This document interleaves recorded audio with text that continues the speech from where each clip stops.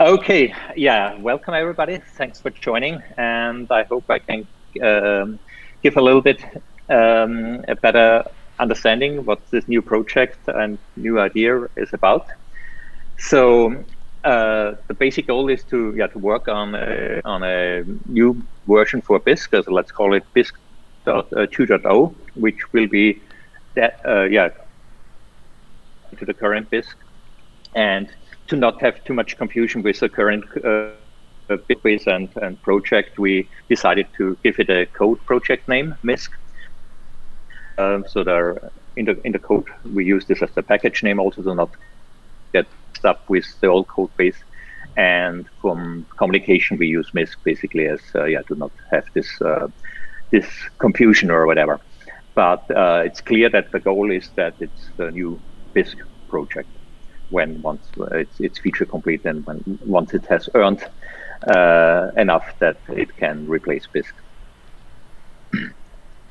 so yeah, why? Uh, why we are working on a new project? Uh, as we've seen over the past months, and it was not surprised, it was known that this will happen, of course, someday, is that the current on-chain trade protocol in Bisq has some limitations with high mining fees. We have transactions and yeah, when mining fees are high, small volume trades are not really feasible. We could, with some optimization, reduce it to probably two, even maybe one transaction. But even one transaction, uh, yeah, has some mining, some costs some mining fees, and it has some other issues as well, like uh, privacy, yeah, fingerprinting the transaction type, and so on, and uh, the delay and so on. So I was a month. I was researching the whole blockchain space and looking out for the optimal, the best trade protocol, uh, current Bisq trade protocol. And my conclusion was that there is no best protocol which fits to all purposes.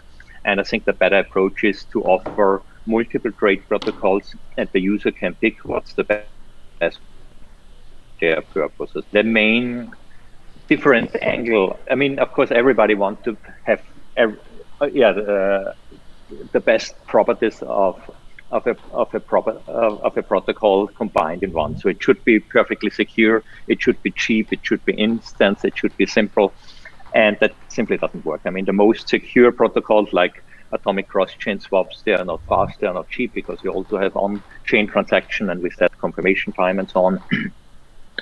and it just doesn't it's just not needed always. When you do a trade with 20 or with 50 dollar you don't need the of a, a cross-chain trade protocol uh, uh, uh, atomic cross-chain uh, protocol. Uh, it's maybe enough to have a reputation-based protocol where it's not so secure and maybe some users get scammed in that you have uh, yeah one fraud in 100 or in 200 cases but then the max maximum to $50, but you save on mining fees. Maybe you have no fees at all because it's completely off chain, the transaction, and it can be instant basically depending on the type how it's done. So you have a lot of benefits, and of course you have some downside uh, from the security. So the basic idea is to offer different types of protocols, and the focus is, of course, of the of the most advanced and secure protocols like atomic cross-chain uh, swap. But of course, that also doesn't work for fiat. For fiat, we need something different. so to provide a suite of different protocols is basically uh, the goal, and to let the user decide what's the best choice for his for their context. And yeah, as I said, I, when I did the research in the broader space, I mean, over the past years, we never being active on Bisq it uh, consumes a lot of time, and you are missing a lot of development. So I tried to um, yeah to catch up a little bit. Atomic cross-chain swaps are around since many years, but now I think they're getting really production ready, especially with the adapter signature-based approach, which can be for Monero Bitcoin swaps. And uh, covenants on liquids are very promising. With that, you have much more capabilities for more complex contracts that can be used for loans. Uh, there decentralized finance space is not a buzzword anymore. It's something very real, and uh, decentralized lending is here to stay. And it's uh, it has some very solid use cases, and it's very popular. So I think we should also extend you not only for peer-to-peer trades, uh, exchange, uh, but also for other uh, contract types like loans, like options, whatever. So uh, to basically enable any on to be executed over this application. And from a more high level, a more conceptual point of view, I think in Bisq we made maybe some uh, mistakes from concept, like we did we didn't put enough effort to get it up, like adding a payment method. Uh, can go over the process, like making a proposal and providing information and all this. But I think at the end, it's too much friction and too much cost for the users. And uh, I think a better approach, efficient approach is to let the edges decide. The edges have the knowledge. When some user in some country where there's a special payment method which is the best for crypto trading, uh, they know all the details about it and they know the risk exposure and so on. So when we need to learn all this, it's a lot of effort for us and to justify that we can add it, that we think it's secure. And so, so we take a lot of burden, a lot of work on us and it well so I think a better approach is like local Bitcoin was doing basically, and I think that's at the end the result of the success of local Bitcoins, that they really let the users uh, provide the information and and also give them the responsibility when they get scammed. They have to be responsible to, to understand what's going on there. And I think we should move much more in this direction to have it more bottom-up approach, where the users can features in without uh, yeah without differently in Bisq involved. And I think that makes uh, yeah that scales much better and that makes it just more usable for certain type of users, especially in niche niche markets. And another aspect, what we didn't really anticipate probably initially, and uh, what we don't still don't use enough is this social and community aspect. I mean, Bisq is really a, a, a, fantastic brand. It's it's a great community around, and the trading experience like when you trade on a centralized exchange, where it's just a completely cold, and with the other cypherpunk on the other on the other side. With the trader chat, we have seen already it got very popular, and people get really great experience that when there are some small problems and the other guy, the other person on the other side is reacting very friendly and so on. You just feel, yeah, you're happy to have had this interaction.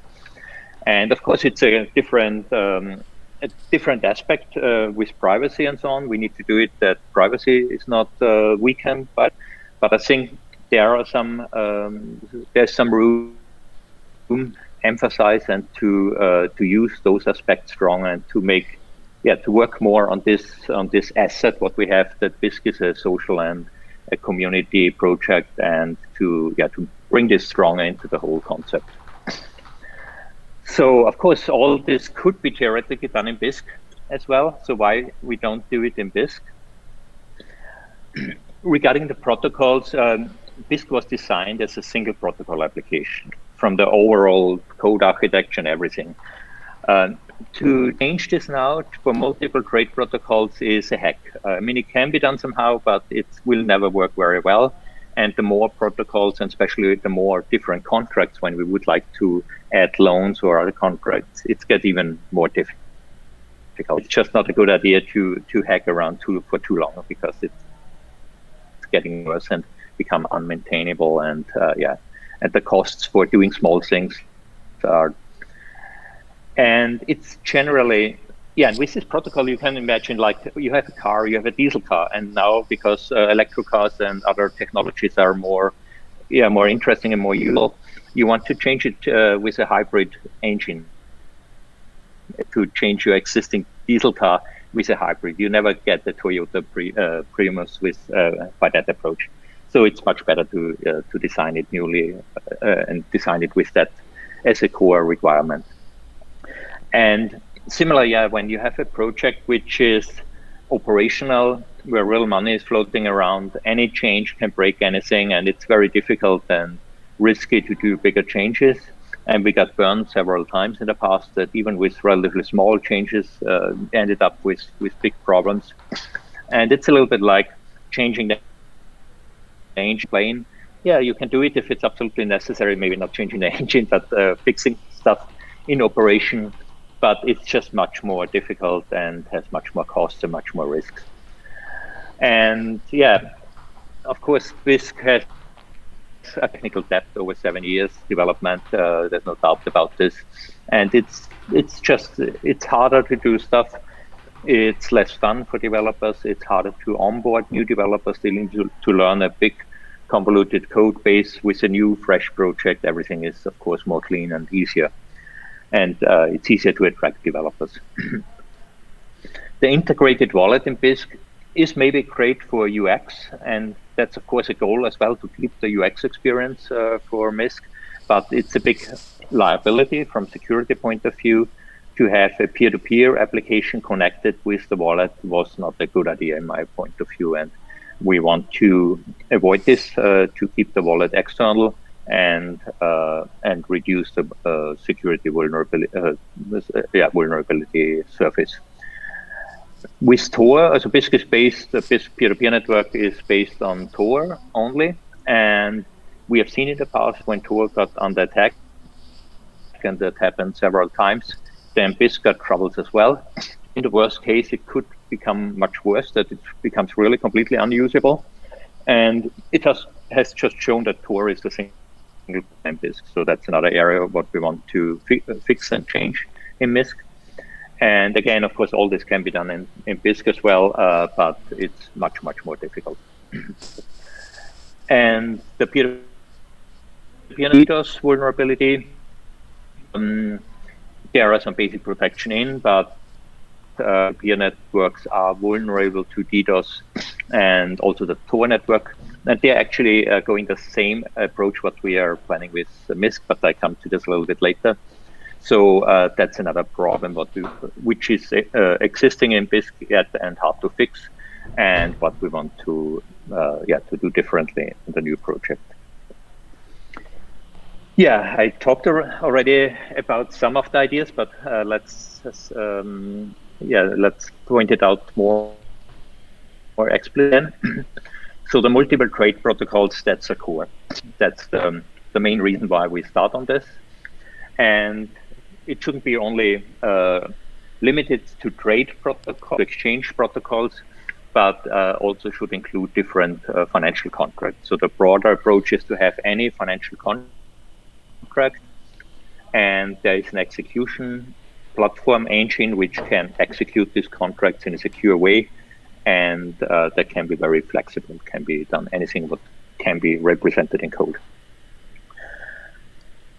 Yeah, the wallets. Uh, we want over RPC interface or whatever, uh, and it's also much more flexible to integrate different wallets, uh, also hardware wallets on the table, and um, it adds uh, something on the user experience because the user can select uh, yeah, their, their preferred wallet and get the best security and privacy for their circumstances. So when they want, when they have already a full Bitcoin node, then they will use the full Bitcoin node as their main wallet.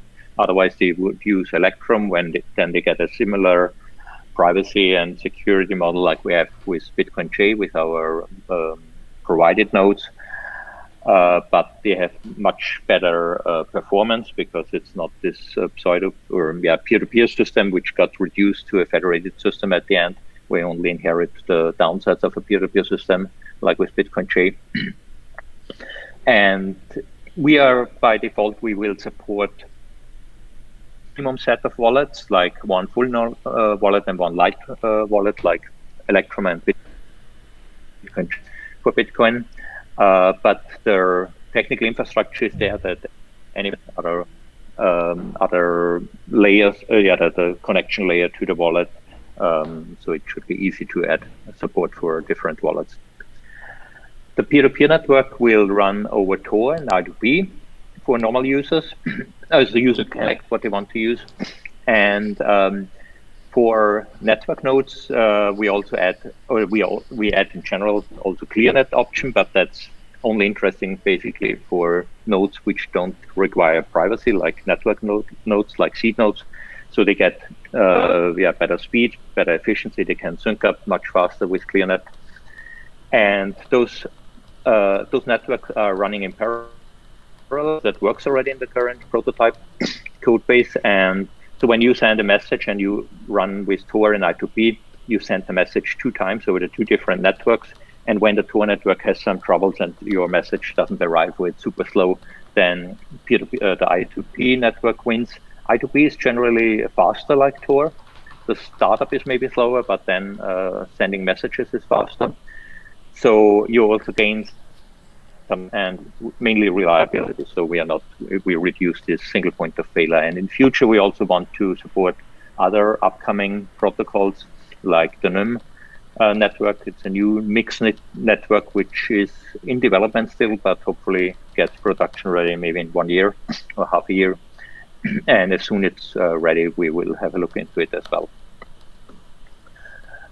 Um, yeah, we add a DDoS protection layer to the peer-to-peer network, which will be based on proof of work as the default uh, protection. For normal operation, there will be no real proof of work required. It's so minimal that you don't see any difference. It's only in the case of a DDoS attack, you get basically a kind of like a load balancing that your node, when you are under attack, you increase your required proof of work, and all the peers who want to send to, especially the attacker, need to do much more proof of work.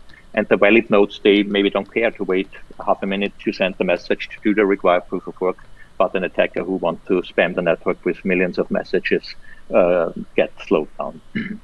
and there might be other solutions, especially in the context of Bisq, we have probably some using account age witness uh, data.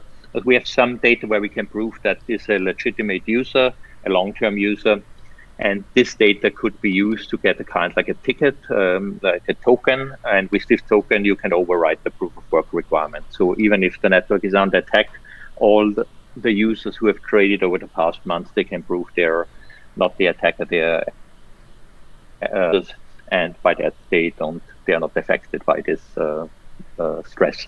And that's actually something what Tor is also looking into it. They I think they are not decided how to do it exactly, but they talk about this token system and as well about uh, proof of work. So uh, it's interesting to see that they are probably going in the uh, parallel in the same direction, and we should follow up with them what they are doing exactly and and learn from yeah from their decisions that's not implemented yet really. So it's, it's set up uh, from the basics and I did some prototype with proof of work, but uh, this part is not integra integrated yet in the current peer-to-peer system. and yeah, conceptually, we should focus on market maker use case early on.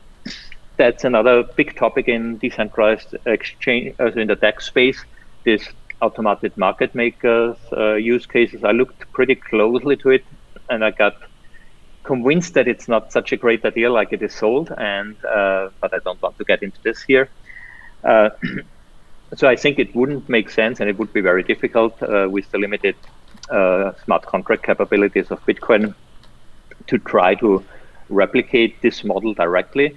But beside that, I think it's even not a good model. It's very expensive at the end, and it just lives from good marketing, uh, in short. But um, but of course, market maker makers are super important. Liquidity is super important. So we really should focus on uh, to provide trading bots for arbitrage to make it very attractive for market makers to uh, contribute early on.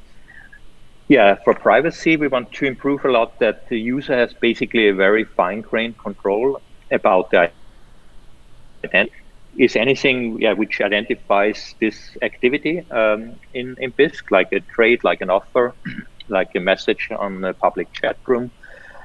And it's the two core elements of identity are the network address, so the Tor address and I2P address, and uh, the cryptographic keys, so the signature and encryption keys. And yeah, we want to build the whole system that uh, for any user interaction you can create by default you are creating your isolated identity so when you chat something on an open chat room this identity is different like that identity what you use in an offer but you can manage it when you want to build up reputation. You can link offers together. You can, yeah, you can manage your identity however you like. From the one extreme that you have everything connected, and basically users can see how how many offers you have online, and that you are this guy who is um, who is chatting on the chat room with that identity, or that you are completely isolated and that it appears like you are just a completely new user with a fresh application. Another feature what we want to plan, uh, what we want to do is to keep offers online. So even if you go offline, your offer will stay online. It will be visible that you are not online, but when one, somebody wants to take your offer, they can send you basically a mailbox message and online again, you can get back to the other trader and more a little bit interaction of local Bitcoin also that's more kind of like a communication and negotiation op option. So when users don't want to do this, they can opt out of this, of course. But um, I think it it extends the possibilities for trading and makes it this problem that you have to be online when you have an offer uh, becomes a little bit less of a problem when uh, you have still the chance that some uh, intrader can that you can uh, get back to them later, maybe a, a half a day delayed, and still can do the trade then.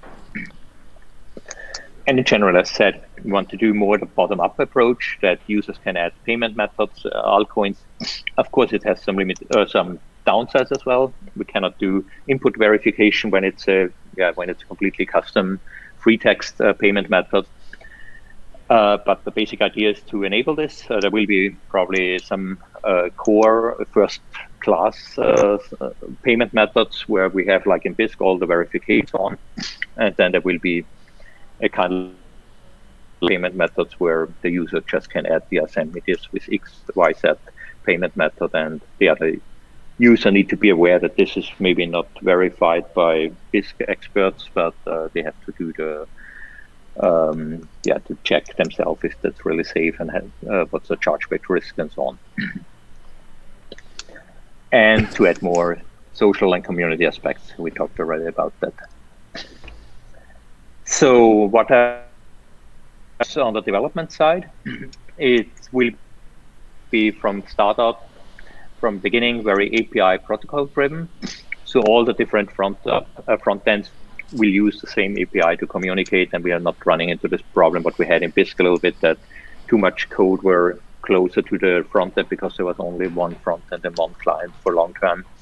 And to edit them later was more effort, like when it would have been differently from beginning. It's in Java 16, so the latest stable Java version. Also, all the libraries and frameworks what we're using, we try to yeah, use the most modern and uh, up-to-date uh, development environment we develop in parallel, or at least set up the infrastructure that we can develop in parallel the web uh, web front end, HTML, JavaScript front end, a mobile version, and JavaFX version, as well as some uh, script-based uh, client and CLI for enabling uh, market maker and uh, trading bots and so on. And of course, it depends a little bit on the dev um, power, as when we we need uh, developers in that area to really do it in parallel. And it might come with the problem that those new developers are not domain experts in Bisq, so they cannot really uh, design their application because they don't have the domain back, uh, background and knowledge. So probably it will be at the end that the domain experts are Java developers. So they will work on the JavaFX as a kind of like a, the reference implementation, and the other front end will follow up with that. That's the most realistic uh, case, but as said, that depends on developers who show up for these tasks. And it can be when we have great uh, uh, HTML5 front-end developer that at the end, that will be the only front-end that the JavaFX application was only kind of like a prototype for getting there, but it will not be used in to maintain many different front ends when they don't really add value. Doesn't make really much sense. So we are not bored at all to use JavaFX front end. So just uh, yeah, it's a question of development resources. Uh, the, yeah, for the trade protocol framework, Stephen has developed a very uh, promising framework for verifying all the possible states in a, in a protocol. A trade protocol is basically a state machine, and uh, depending on the events, you are moving to the next states, and it can have different branches, and it can become complicated at some point when there are different branches and different uh, options. And to verify that all these different branches and different states are really uh, valid and in the correct state is challenging without any automatic framework. And he's working on this, so that's very promising. And that will enable and reduce the risk when you add a new uh, protocol that, yeah, that it uh, that you have already some uh, some tool set which helps you to make it safe. The wallet integration will work basically over RPC or ZeroMQ uh, for getting um, push the data. Um, James have worked on this, and um, yeah, uh, the prototype all worked. So the next step is to get it production ready. So yeah, we're moving already. I uh, said already a little bit about this. Um, what are in state of the prototype uh, code base and uh, the participants. Maybe I go a little bit back how it started. Over the past months, I did a little bit of broader outreach to research in the whole DEX space and blockchain space to check around what the interesting developments, what the interesting technology, which protocols are might be used uh, useful for Bisq. And uh, as said, my conclusion was that there's no best single protocol, and the best what we can do is to offer a suite of protocols and let the user decide what's the best for their context and their needs. and this led basically to this proposal, which I did a few months ago. And after the proposal, I made a, uh, a kind of like a, a yeah a, a, starting project for um, for the minimum viable version with an offer book and a peer-to-peer system and a reputation-based uh, uh, protocol, which doesn't require a wallet or whatever, where people can trade based on some trust derived from some reputation, and uh, and then move on from this um, viable uh, uh, minimum viable uh, project and get the next features added, like integrating wallets, getting real trade protocols integrated, and so on. Um, we started then some follow-up projects um, for investigating the feasibility to check out if we are not asking for too much, if we, we if we are able to build this, basically if, if there are some showstoppers on the way. And it turned out it's feasible. As we have completed two of those projects, and we got a pretty good picture now about the whole architecture and the whole system. That I think there is no showstopper uh, for sure. A lot of challenges, and a lot of work ahead but I think um, doesn't hold us back. James uh, said he completed the proof of work concept for uh, the wallet integration. So he did it with uh, Electrum, with uh, Bitcoin Core, and with other blockchains like Litecoin and uh, Liquid and Monero, as far as I remember. So it basically has worked out that there is no big problem in that area. Was also expected. And the next step will be that uh, he will start on, on implementing it. Guy Hupsan has uh, worked on a proof of concept for dynamically loading external dependencies. At the beginning, it was not so clear how we are integrating like a wallet and so on. So we wanted to know the option to dynamically load um, code base into the Java application. I think that might not be needed at the end, but at least we know how to do it now and might be useful for update uh, uh, functionality. But he looked then into many other areas as well, like um, feasibility to use GraalVM. That's a native image from the Java runtime plus the application. So you got basically converted your Java application to a native uh, application. It's a project from Oracle. They are pushing it a lot. So uh, there's a lot of dev power behind it, but I think it's still early days. So when we tried it out, like with Bisq or with the current prototype, it already had problems and it would have need more time to get it running. So we dropped it at the moment. But when it comes time for deployment, we should look at it again. Uh, it decreases the startup time, so it's very fast to start up. and the memory footprint. And both are downsides of the Java VM. Runtime performance seems that it's more or less the same. Um, the yeah, and also to set up uh, infrastructure and investigate uh, structure and technology for web application, API structure, uh, and the uh, overall Gradle project setup. The very modular uh, setup, uh, more modular like the current Bisq one. And it's still ongoing work in progress, especially with the web app, and he probably will work on this a little bit. And so, but yeah, that's the current state. Um, as said, Stephen has worked on this uh, protocol framework, which is very promising, as well on a Lightning-based trade protocol, uh, where he made a, um, a proposal a while back. So that's um, very pro the trade network. Myself, I was working on the peer-to-peer network mainly, and over the past weeks, uh, moved on our domain uh, to the offer domain and create no offer domain mainly also offer book and create offer and started on some your overall application structure and so on wow. and um, we'll probably work a little bit longer on that to get uh, the basics that we can work more on the UX because UX is a main challenge. Uh, with more options, things get more complicated, and we want to improve the UX uh, of Bisq and not decrease it. So that will be a challenge how to do it in the best way to yeah to make it as simple as possible for the user. But to really develop the UX more in detail, we need to know more the details of the domain, uh, of the offer domain, how everything works together.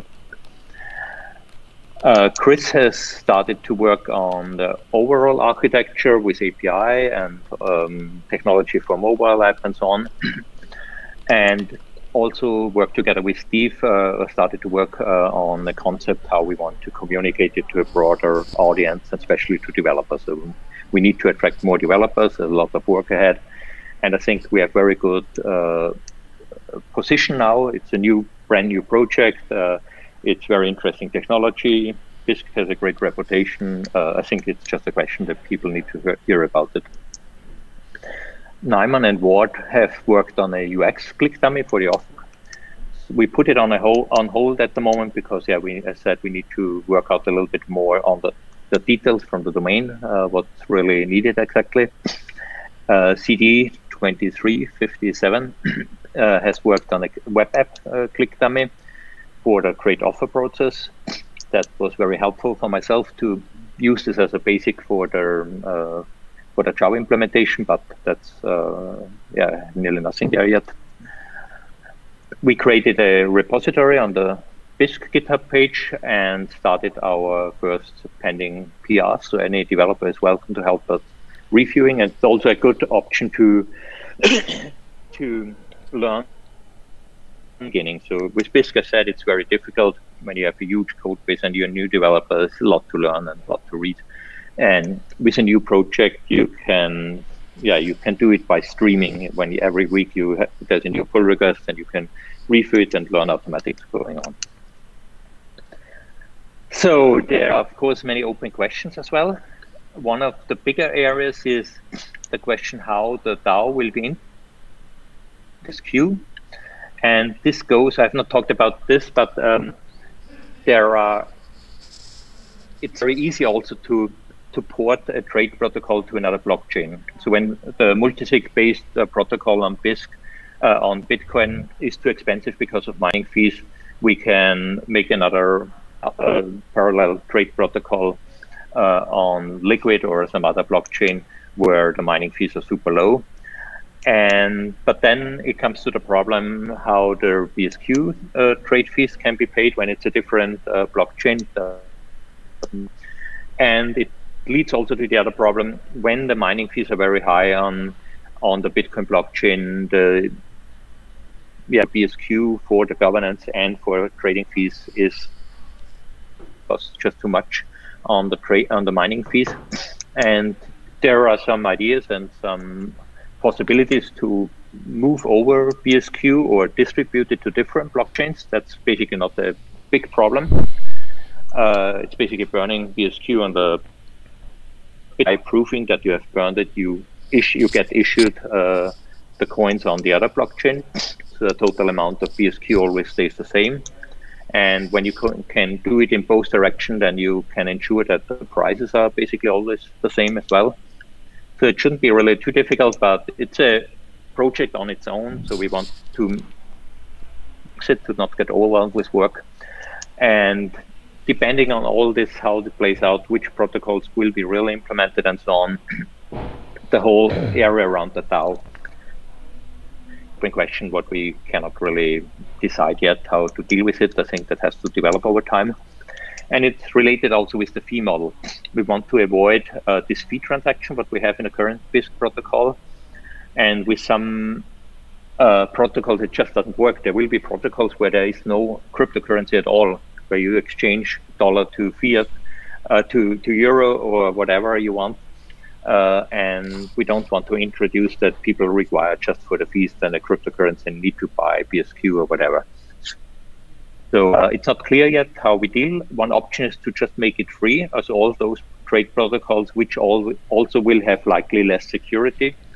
That they, we use it kind of like advertising to bring new users, and for small amounts, they are usually only suited for small amounts. That we say, okay, it's free, and at some point we'll also use other trade protocols which are not free and which provide more security and so on. But it's an open question, the fee model, at least we don't want to add friction and dependencies uh, model, so we need to find a way that it just organically fits into the protocol, into the system. So That's a little bit open question.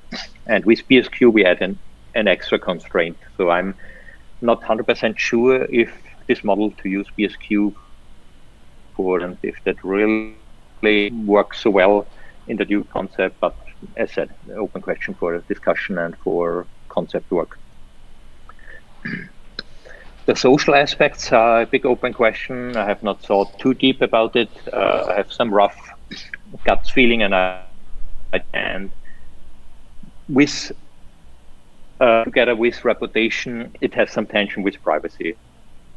People are too public there. It's not only about their privacy, they also can hurt the privacy of the trading partner. Be careful in that area to not go too extreme and too far. Uh, the basic approach is that we're leaving the decision to the users, but to do it in a way that you cannot violate the privacy of the other trading partners and to make it very explicit. So when a trader is using to link together their identities, they should be aware of the of the trade-offs.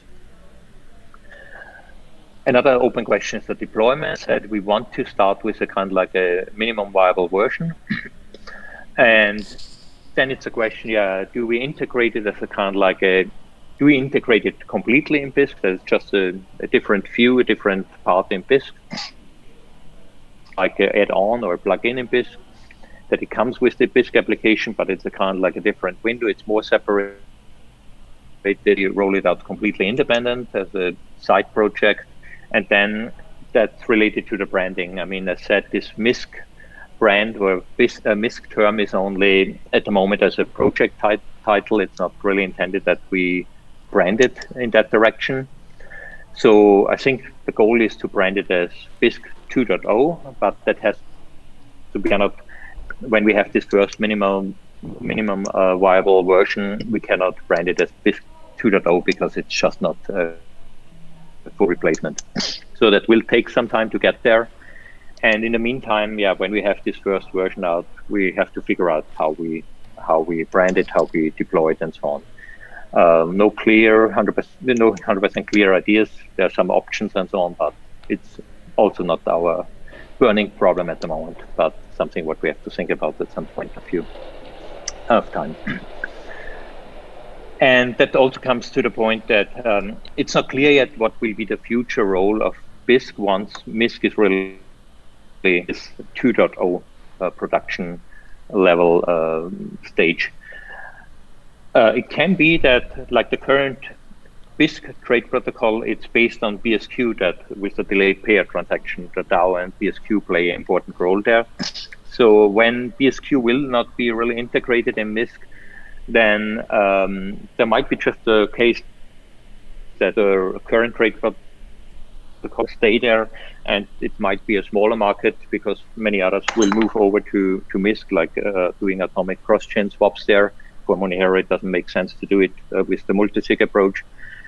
Uh, but um, yeah, that's open yet. Uh, how this um, plays out when we when we integrate basically the same protocol type in Misq, I think there is no uh, need and no use case to keep it in Bisq as parallel. It just uh, adds more effort on maintenance and everything.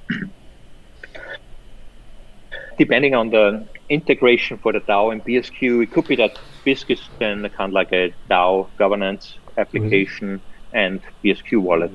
And the role of BSQ might become a little bit smaller. That's not, like a pool and shit. not also like this is in economics of BSQ. So it's a broader topic what needs more thought of how it develops. That's, that's but it all, as said, it depends on the final state of Misq. So when it turns out that we can integrate BSQ and the DAO it's basically the same like in Bisq, then it's the full replacement and uh, yeah, oh, then yeah. it's the easy way. Then at not? some point we say, okay, we we let the, the old Bisq run out. People can still use it, but the market will diminish, and most people will move over to the new uh, version. There is still a role for the old one. We have to figure out, yeah, with the branding, how we call then the old version and so on. And then it depends on the extent. When it's only a DAO uh, focused application, we can rename it and it's Misq or yeah Bisq DAO app. Uh, when it's still a trade protocol, we yeah we have to think about it. But uh, as long as they're not Calvin Air aged. Uh, not our problem. So as long as they're not Calvin Air yeah, aged. Uh, conceptual open questions. so any any any person who is strong and uh, and the concept development and who has good ideas so in that direction is very welcome to help. Uh, we, also the, the, the, people who are mostly working on the project now, we are all focused on development, days. so we are not oh, spending well, too much time reasonable. on this open conceptual questions. Super nice. So that brings us to the next point where we need help. And um, is that near the beach? Yeah, of course, as always, uh, developers. So as it's Java, I didn't say it at the beginning. I was I was starting to learn and was considering uh, to use Rust as uh, development. Right. See. As See? the language, but the main reason why I uh, move on with that was that for myself I was aware it would need probably half a year minimum to really learn it good enough to build such an application and then you're a bloody beginner mm. you need another one or two years to become really mature like and right, yeah, it's not a good idea to build a challenging project, which is more challenging, like the existing Bisq, which is already challenging, as a, yeah, when you completely primer there you go. Uh, complex. This is a uh, business trip. Programming language. and the next thing is that we, in Bisq we don't have Rust developers. When you get completely new developers, they don't know the domain of Bisq to develop this, uh, you need in experts of the trading yeah, of, of, of Bisq and the, and the space, and we just don't have these people. So when we would have five Rust experts around who know already Bisq and everything, it would have been a realistic option, but that's not the case, so it was not feasible. And it's probably less productive at the end. From my gut feeling, I had the feeling that it's not faster like doing it in Java. And modern Java is pretty cool. I know it's not very popular in the Bitcoin space, but I think that's mostly wrong reasons. Uh, and it's a huge developer community, so it's it's uh, yeah. And with Rust, of course, there are many Rust developers now in the Bitcoin space, but the good ones are usually already occupied with projects. There are many interesting yeah, projects. Everybody's doing Rust basically. We are in a big competition even a little bit better with Java because there are not so many interesting Java projects in the Bitcoin space, in my opinion. And when a Java developer is looking for becoming active in the Bitcoin space, I think Bisq is a mm -hmm. prime candidate. Yeah, we want to, as I said, um, do in parallel this HTML5 JavaScript front end. So any developer or developers are very welcome. Could only make it basically our prime UI front end when we have really, really reliable developers who can react very quickly. When I'm working and developing on it, I don't want to wait for one or two weeks until to get the feature implemented. So I, I could only drop the JavaFX front end when I'm sure I have a develop my requirements in very short time in a good quality. When we have this, then uh, we can go full that direction. Uh, mobile app is another area where we need a developer. Uh, UX experts, um, yeah, we started, it's a little bit on hold at the moment, but that's a big area. Uh, many UX challenges, also the identity management. Uh, yeah, it's complex how to manage this, and we have to do it in a way that's not confusing users. Um, design, of course, we hope that Pedro will find time to do the, final design. We are basing everything on the latest designs from Pedro. Um, but um, when he doesn't have enough time, we need some designer at some point who uh, can replicate the yeah the, the, missing designs for this different. I mean, the current design from Pedro was the current Bisq, and there are quite some changes, so we need some different designs, uh, and we need a designer who can uh, replicate the quality of Pedro. It's not the easy challenge for sure, uh, not the easy task for sure, but hopefully we uh, the best will be that Pedro can do this all, uh, and hopefully that works out. But when he's too occupied with other work, uh, we need some somebody that is urgent. I think we we are not at the moment to to need a final design, but maybe in something like maybe for this first minimal uh, viable version, which could become ready maybe in two months. Uh, when we want to release this, we want to have a final design, of course, a quality design. As said, um, all these conceptual questions will need more work. So everybody who has some talent in that area is very welcome to help us. And the product communication, yeah. At the moment, I think it's mainly about finding contributors for all these areas uh, we don't need to yeah to get to the users at the moment before we hang out yet, and we want to do it in a low risk fashion anyway. So when we have this first uh, version, which we can, we also want to make it as a big uh, splash. So want to do it low risk. There can be bugs and so on. The users will be our beta testers basically, and um, yeah, I want to do it in that fashion. um, I think I'm through with uh, basically everything what I wanted to cover. I'm sure there are left questions and uh, yeah, uh, things to discuss. It's all fresh. Everybody's welcome. Uh, we kept it a little bit on a low visibility, not not, not really with uh, low visibility because it was projects and uh, proposals and so on. But we didn't try to to reach out too much. I mean, that's not the first attempt because we were not 100% sure if it's really feasible and we want to be sure if, if, we really can build it. I'm convinced that we can build it now. Now it's just a question of our computer workforce that we get enough people to really get it done.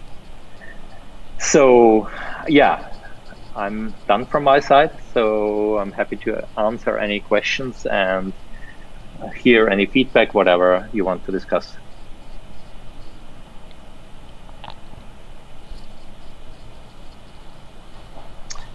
Steve, uh, have not followed the chat room. Have there been any questions in the chat room?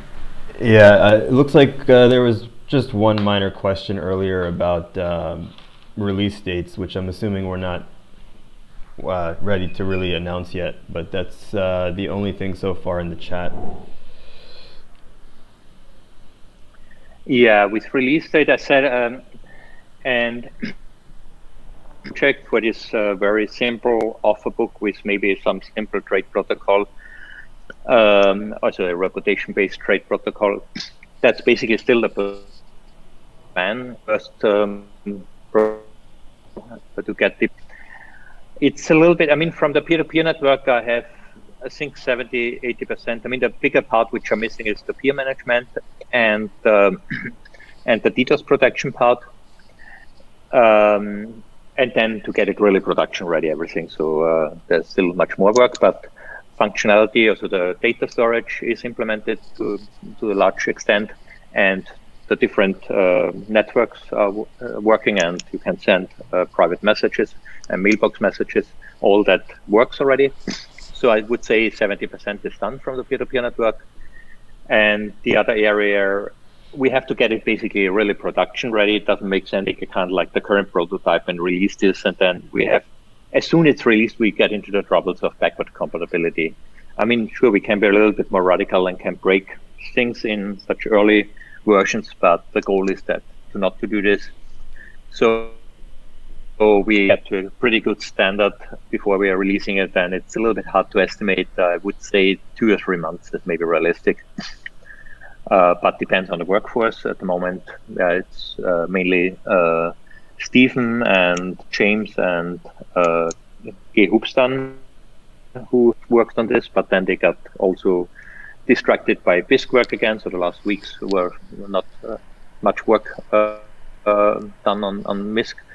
And I myself also at the moment I'm working on some Bisq tasks. So it depends on that context as also how much we can really find uh, full time uh, to, to work full time on, on Misq, how fast we can progress, but something like that, two three months might might might be a realistic time frame. And for the full featured uh, project, it's pretty difficult to estimate. With the current workforce, I would say probably takes a year to be realistic. To have really two or three different trade protocols. I mean, the mains from the trade protocols are atomic cross-chain swap with Monero, and then others. But the, the main goal uh, to have one multi-sig based protocol for fiat and to have uh, a reputation-based uh, protocol where, for instance, BSQ bonds can be used or some social media identities or whatever. It will be pretty flexible, but those three protocols are the main goal at the beginning. Lightning, uh, when Stephen can get this finished, uh, that would be another prime candidate, of course. And then maybe the multisig can be copied to Liquid. That's then a low effort um, so that we get kind of like a cheap uh, mining fee version from the classical trade protocol. But to have this set of three or four trade protocols, I think when we have this, then we are basically ready for calling it Bisq 2.0 before it's kind of like a, a beta version for yeah for getting there. I see. Okay, that sounds good. So Huey's asking if there are any other if the other efforts regarding the wallet are on hold right now. I don't know if he's talking about Bisq as a whole or the Bisq wallet. Um, which effort regarding the wallets? Let's see. Also, I'm not aware of any huge open task in Bisq. I think most work which is done in Bisq is more kind of like bug fixing, maintenance, improving payment methods, and that. And many of this work can be moved over to Misq, uh, like especially the payment methods. Uh, everything what we have there, it's much easier than to yeah to move it over to to uh, Misq.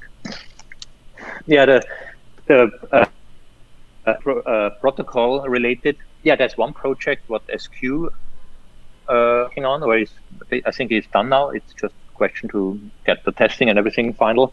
Is the B, atomic BSQ transaction protocol?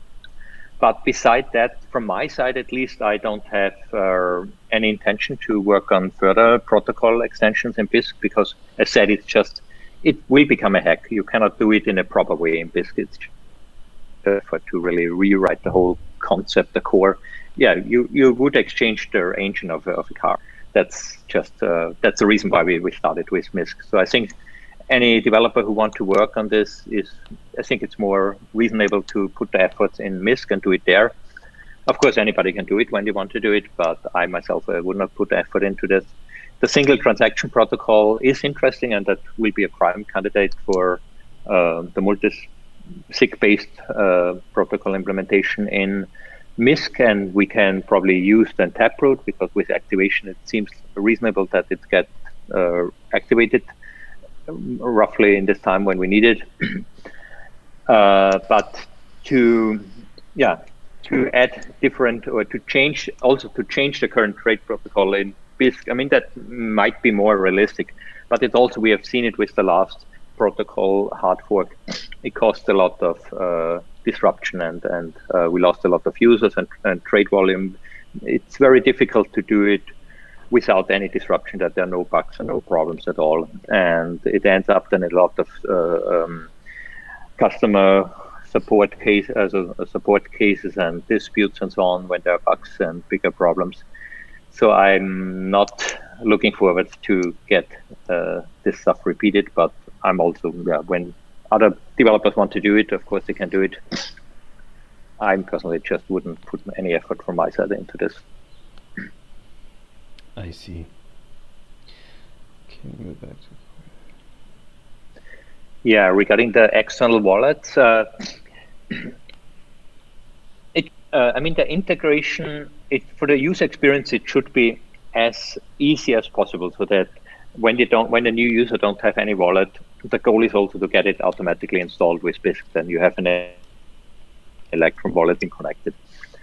Uh, but it's an external wallet which has only their yeah, the RPC interface. So there's a kind of like a clear interface, and it still has some risk. Of, of course, when somebody take over your application or your machine, then you are lost anyway. Uh, but uh, it reduces the risk when it's not in the same code base. Like uh, currently, the Bitcoin J is just part of Bisq, and it's not only it. The security risk is not the only aspect. With BitcoinJ, we, the big problem with BitcoinJ is it's very resource heavy, has some uh, open problems, like when you get a lot of transactions, it becomes very, very slow over time, and simply becomes very heavy. And it uh, the main problem is it's not up to date with the latest feature in uh, in Bitcoin. Segwit it took years until it got implemented, and even then there was some stuff missing, and probably some yeah a lot of money at the end to get Segwit in, integrated. And new development like Taproot, yeah, I don't want to wait another five years to get Taproot on Bitcoin J. And some other stuff like replaced by fee never got integrated. And yeah, it's just uh, not a very well managed project. Um, and and it doesn't, I mean, it was built as a peer to peer. The basic idea was great to have a peer to peer light client, but Bloom filters were conceptually and technically completely broken from privacy. And it, at some point, it will not be supported at all anymore from the Bitcoin side. and we fixed it with these federated nodes where Bisq contributors are running this node so that we are solving this privacy issue or mitigating it.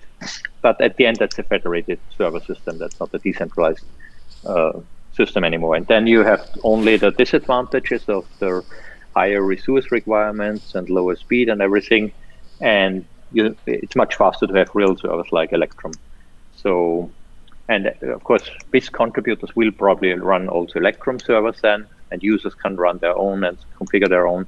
So they have their flexibility to go um, from the extreme to have everything there under their control and have more effort to get this all set up to the other extreme to have it the most convenience and lose a little bit of uh, have to trust um, some other nodes node operators. But it's basically the same system the same state like in like in Bisq. Users have to trust the Bisq node operators, uh, the BitcoinJ node, or the Bitcoin node operators used for BitcoinJ, or their local node. Yeah, for BSQ, I said that's a big open question. I have not spent too much time on this, and it's a project on its own, basically. I think most, I think that Bitcoin as the main chain for trading will diminish. Maybe it will still stay as a kind of like a niche. But I think for fiat, and yeah, that's another topic what I have not talked about. I assume that the, the version of fiat as we know it with banks and with cash and so will get replaced by some sort of digital currency and special also all the central banks and the countries are aiming to get some central bank digital currencies I think that the West, Europe, and the US and the rest of the Western world will fail to do it. Um, the banks are terrible to be innovative and to do uh, challenging uh, technical stuff, and uh, I cannot imagine that they get this done. The only who are succeeding and who have it already are Chinese. So the digital yuan is reality and will become very strong soon. And they are they have uh, it's not 100% clear yet but from the current state they want to integrate it with permissionless blockchain so there will be bridges where you can trade it and have atomic swaps with other blockchain um, like uh, Dol- uh, Polkadot and Ethereum I think are supported and some other blockchains which are not so famous not Bitcoin and not Monero but anyway, you get some interface to connect with this world, uh, which is already positive. Uh, I think uh, what we can expect from America and Europe will be worse uh, from that what they communicate so far. Um, so we have to plan, or we have to take in consideration what happens when this, when we are reaching this point that uh, the normal fiat get more or less abandoned and replaced by central bank digital currencies, and yeah, the current trade protocols based on bank transfers and so on, we have to rethink this. And hope is that the central bank digital currencies, that they are more interoperable with um, with permissionless blockchain tokens, like currently with banks. It cannot be much worse, uh, hopefully not. And at least it seems that it's uh, that yeah there's some bridges and so on and maybe you cannot trade it directly without having an account at the Chinese central bank or at their banks uh, which are offering them the services but you can get it traded over some other tokens and so on so it's already much more fluent. But it's a, a completely open question. It's too early to say anything how this will play out. And yeah to bring the question uh, back to the question re regarding BSQ um, the multisig based protocol is mainly for fiat. I think everything altcoin will be atomic cross-chain swaps. That's just the prime candidate for this. Uh, so, and uh, for fiat, uh, it depends a little bit on this uh, development. It can be that this fiat all will also become basic, that fiat become really an altcoin in a way, and at the end there is not really a need anymore for this multisig based protocol, or it becomes less and less yeah, relevant. winding down though. And uh, using BSQ in a atomic swap context, uh, oh, that place. I have not thought about it, uh, how it can be used, and if it works or so, maybe, maybe not. And then it, with current BSQ, it's based on Bitcoin, so it would only work when one side is Bitcoin, and that's also not guaranteed. Uh, of course, the cross-chain swap should work between any uh, chains. And I think it's too early to, um, yeah, to really decide in which direction it should go. When we see that there's one, that maybe Liquid become the main chain where all these multisig-based uh, protocols are are used, then it probably makes sense to move over BSQ to Liquid. And the way how it can be done, as said, is pretty simple. So you are burning BSQ, you get a proof of burn for this. With this proof of burn, when we do it low tech in a more manual way, you just make a compensate a reimbursement issue uh, request on the on the liquid side, and the uh, the stakeholders can verify your proof. So they see you have burned Bitcoin-based BSQ, you have burned maybe 10,000 BSQ there, and then you have the right to get issued 10,000 uh, liquid BS-based BSQ on the other chain. And one day when you want to go back, you do it in the other direction, and it just has a little bit of delay and the voting process. Uh, maybe we can do it really automatically uh, by code, but that would require more effort and development uh, effort.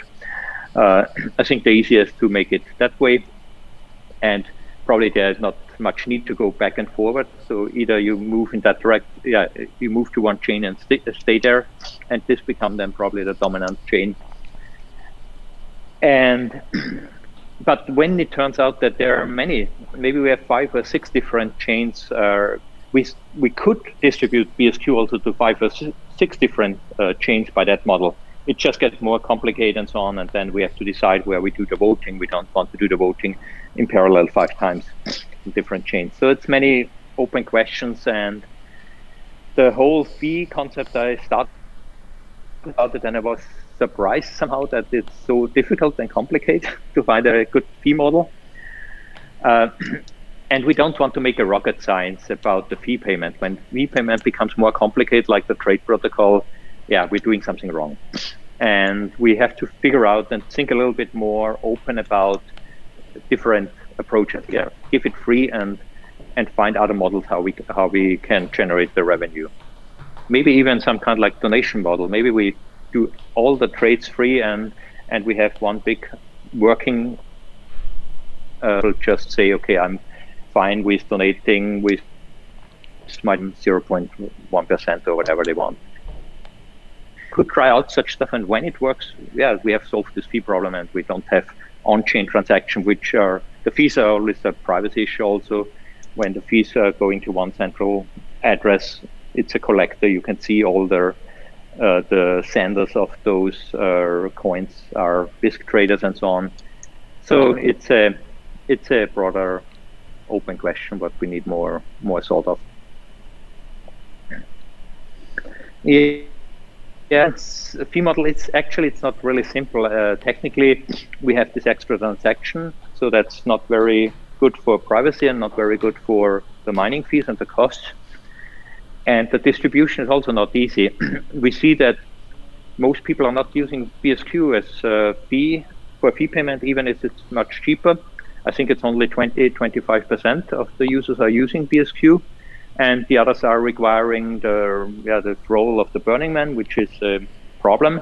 There are some ideas, you know, but those ideas have some. They're not perfect, and they're better like the current model, but they're not perfect as well. And they add some complexity, some friction, some costs. Um, so, and that's another uh, goal of the new system is to avoid all these special roles, like seed nodes. The seed nodes will only play this introductory role, not any, anything anymore. There will not not be a data delivery from seed nodes anymore. So, and we, by that we are reducing all these requirements for having these roles in Bisq, which are kind of like semi-trusted and so on. And the same, we, yeah, we don't want to introduce something like a Burning Man again or like fee aggregator, so which is for sure, but it's also better when we don't need this at all. so it should be much more really a peer-to-peer system where every peer is basically the, has the same role and the, the same level. There are no special roles.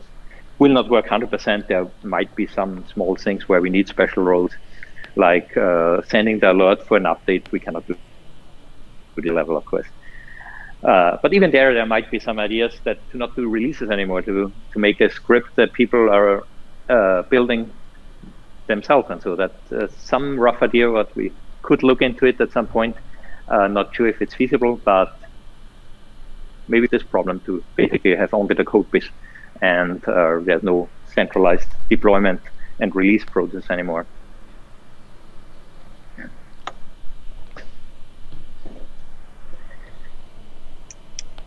Uh, Hui, did I answer your question, or do you mean something differently with uh, that uh, you consider it very simple, the current fee model?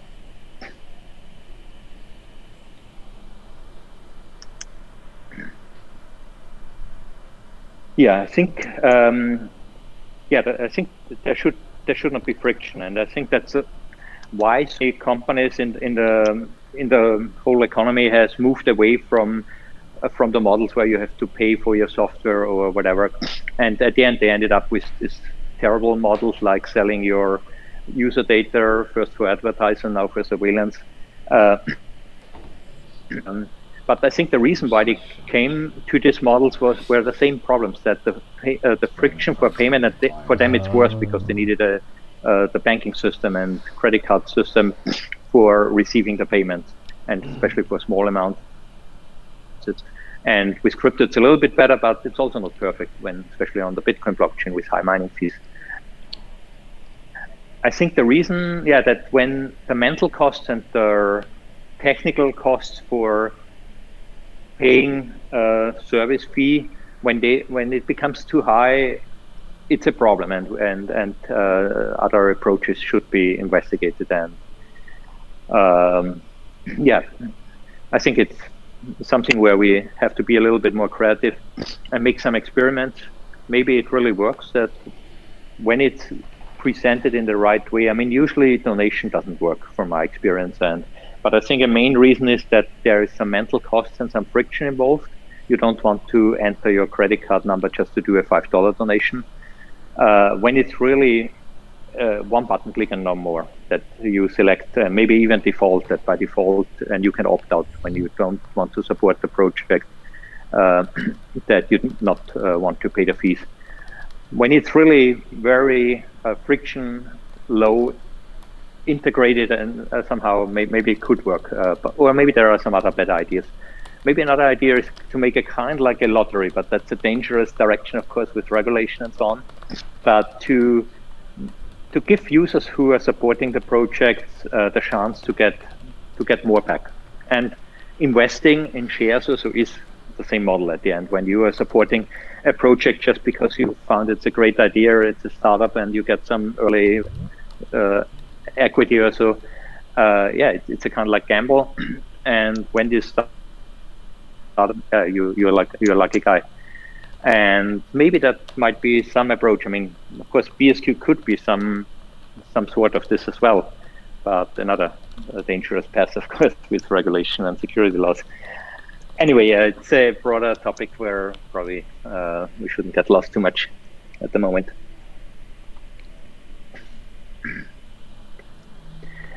Yeah, is anything else? Otherwise, maybe I think it's over one hour. Maybe it's good to wrap up. There will be some follow-up presentations from Chris and Steve, uh, which will be much more intended for a broader audience and especially for developers and also for the technical uh, details about the architecture and so on. Uh, I will focus on development, uh, so I will not continue too much in that direction. Uh, hopefully, other yeah, as a, hopefully the other uh, guys with more better talent like myself can continue that so I hope it fulfilled the goal that everybody got more or less a clear idea. Yeah, what's this about? It, uh, to summarize it, it's really uh, the plan for getting the new, the next version of Bisq. it's challenging. The main goal is the support for different trade protocols and fixing many others and improving many other things on the way, which are all difficult to do in Bisq. And I think uh, to rebuild uh, a project requires some justification, but I think one justification is also that the current code it was started more than seven years ago, and at some point I think it's justified to say, okay, now it's time to redo it new and make it everything clean. It's like when you have an old house, you can fix it all the time, but it always stays an old house in a way. And at some point, uh, refurbishment becomes more expensive, like building it new.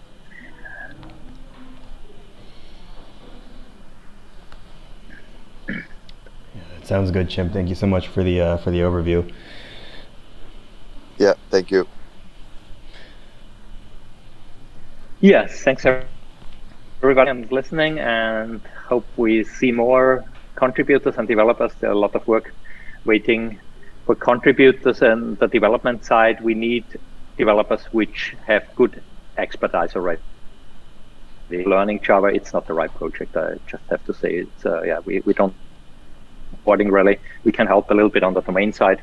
The best developer would be the domain expertise on best on Bisq, of course, but at least on Bitcoin and is experienced Java developer with several years of experience. Otherwise, it's just a too challenging and too big project for beginners.